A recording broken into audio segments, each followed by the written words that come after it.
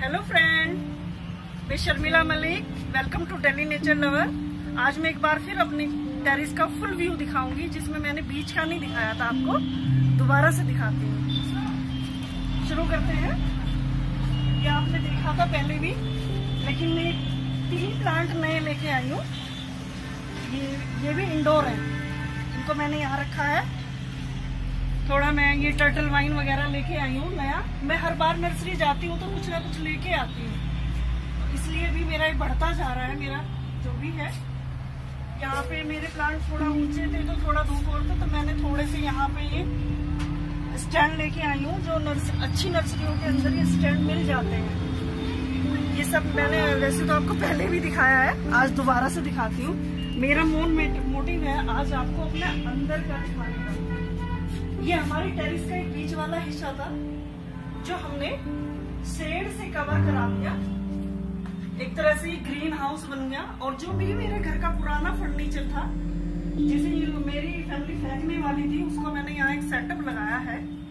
ये मेरी पुरानी डाइनिंग टेबल है, जो यहाँ टेरिस में एक बहुत अच्छा हम नाश्ता करते हैं। जब बारिश आती है उस टाइम यहाँ बैठ के फुल इंजॉय करते हैं। और हाँ फ्रेंड्स मैं ये आपको दिखाना चाहती हूँ, मेरे कुछ हैं और मैंने पुराने चीज़ों का यूज़ किया है, ज़्यादातर पुराने डब्बे, पुराने कप जो भी पुराने डब्बे वगैरह कप वगैरह, इनको जितनी हीट चाहिए, उतनी यहाँ पे मिल जाती है। ये सब देखो। सारे पुराने मग्गे, डब्बे, सब कुछ मैंने पुरानी चीज़ों में लगा के यहाँ पे रखा है। ये एक टर्टल वाइन है, जो आप इंडोर भी लगा सकते हो, बहुत अच्छे से ग्रो करती है। इसको मैंने एक अच्छा सा ग्रीनरी का लुक देने के लिए अपनी शेड के अंदर हैंग किया हुआ है। ये मेरा एक पुराना बेड है। ये हमारे लड्डू गोपाल जी का झूला है। इसको हम कहीं भी उठा के हैंग कर लेते हैं। लड्डू गोपाल जी इसमें झूलते हैं, खुश होते हैं। ये हम बैठने के, लेटने के लिए थोड़ा जैसे सर्दी होती थी तो मैं यहीं पे बड़े सूरज की रोशनी आती थी, बड़ी अच्छी धूप आती थी, हवा बिल्कुल नहीं लगती थी। मैं यहीं बैठ के पूरा दिन अपना निकालते थे कुछ अच्छा अच्छा काम करने के लिए।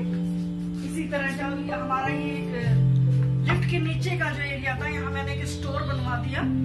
इसके अंदर पुराना सामान भरा हुआ है। तो कारपेंटर का काम चल रहा था तो मैंने लकड़ी से ये कुछ बनवा दिया।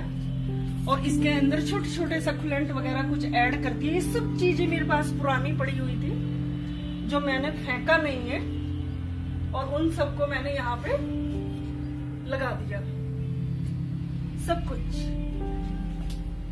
सब कुछ यहाँ पे लगा दिया। ये मेरा पुराना मिरर था, जो नीचे हमारे इंटीरियर के साथ मैच नहीं कर रहा था तो ये भी मैंने यहाँ पे लगा दिया। इधर मेरा ये पुराना सोफा है, जो काफ़ी एंटीक लुक भी देता है। इसे भी मैंने देने की बजाय मैंने यहाँ लगा दिया। और यहाँ एक हम छोटा सा पार्टी का ऑर्गेनाइज कर लेते हैं, जब कोई हमारे फ्रेंड्स वगैरह आते हैं। तो हम यहाँ बैठ के काफ़ी इंजॉय करते हैं। यहाँ पे एक म्यूज़िक सिस्टम है, पुराना। इस पे कभी, इस पे म्यूज़िक सुनते हैं और इंजॉय करते हैं। मैं एक अपना ये भी एक स्टैंड लेके आई हूँ। मैंने फ्रेंड्स आपको बोला था कि मैं बोगन विलिया दिखाऊँगी अपना। ये ऑरेंज कलर का बोगन विलिया है। काफ़ी अच्छा खिल रहा है।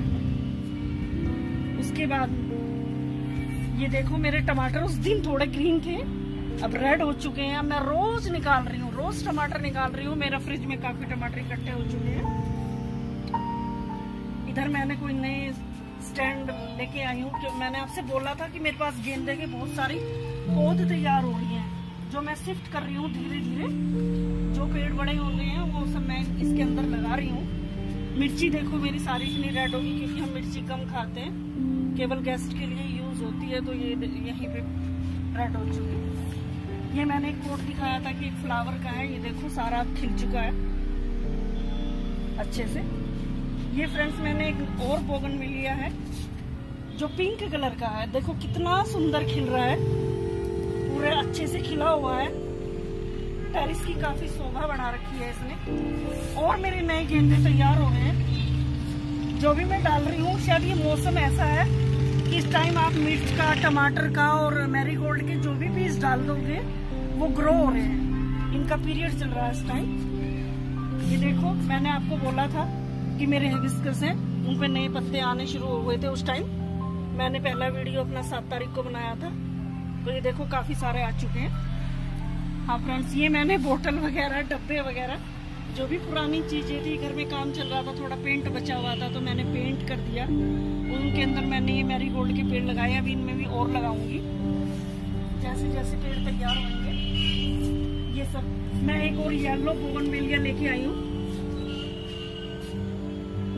और मैंने पहली बार पहले बोला था कि मेरे को उसका, ये येलो बोगन बेलिया और उसका मेरे को नाम नहीं पता, पर मेरे को नाम पता चल गया। वो रात की रानी है, क्योंकि मैं येलो कलर की रात की रानी भी लेके आई हूँ। ये मेरा येलो कलर का रात की रानी का पेड़ है। और ये पिंक कलर की रात की रानी का पेड़ है।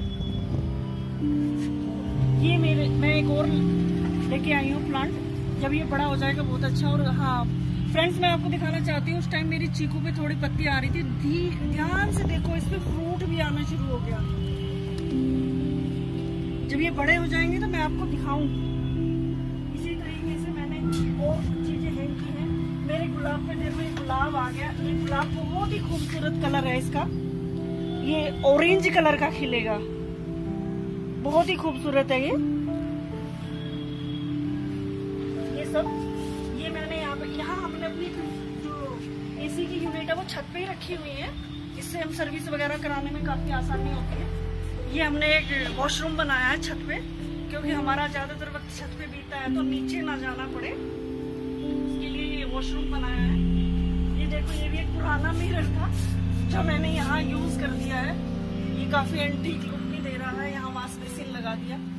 ये मेरा एक टब है, जिसमें मैं पानी सेव कर लेती हूँ। फिर ये वापस वहीं पे, दोबारा से। मैंने बोला था कि मैं, मैंने पालक वगैरह उगाए हैं तो वो सब उग चुके हैं। और थोड़े बड़े भी हो चुके हैं। सारा सारा कुछ 20-21 दिन के बाद सारा कुछ काफ़ी बड़ा हो चुका है। ये सब कुछ लौकी की बेल देखो, चढ़नी शुरू हो चुकी है। तब तो इसमें दो तीन पत्ते ही थे।